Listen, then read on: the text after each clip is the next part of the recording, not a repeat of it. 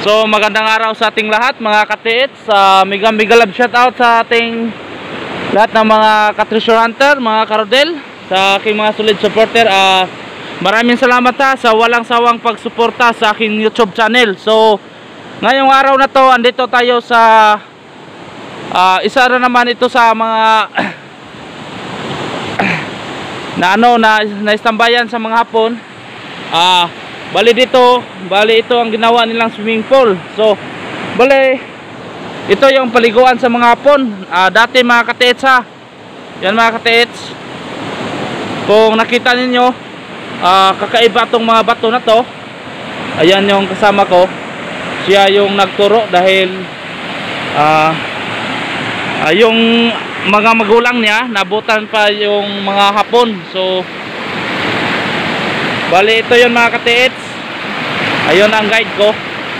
So sinamahan talaga ako papunta dito sa ah, nasabing paliguan sa mga hapon. So ito yun ha you know, may silang ginawang kanal dito.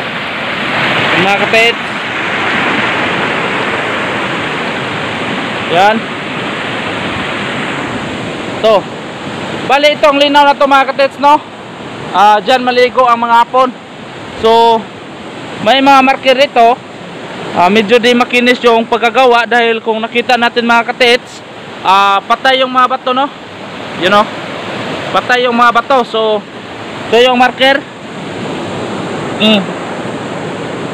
so punta tayo sa nahan dahil meron akong nakita pang marker. So dito pa lang mga katets sa mga bato na to para siyang ano engraved sila lahat.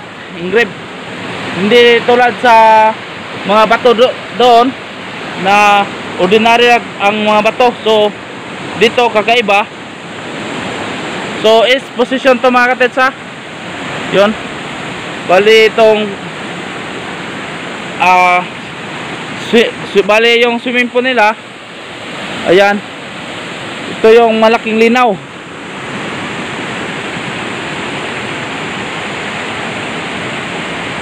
So, ipakita ko sa inyo yung sinabi kong kanal. You know. May kanal dyan. So, post ko mga katets. Ito mga katets. So, may nakita kaming tinagong marker dito. You know. Isang perfect hole. Malalim to. Yun mga katets. Uh, tapos yung uh, malaking kanal yung perfect hole na yan uh, nakapuenting dito sa side. Yan ah.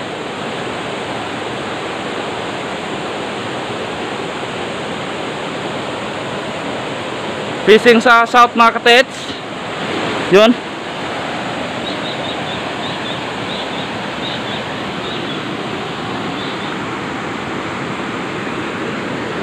May mga parte dito na may simento.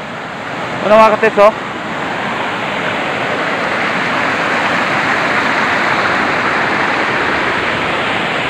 ito yung uh, malaking paliguan nila para talaga itong swimming pool mga katets.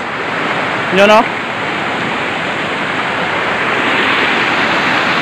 so kung napansin nyo yung mga bato. Uh, bilog bilog yung mga bato mga katets. Yun no uh, malaking kanal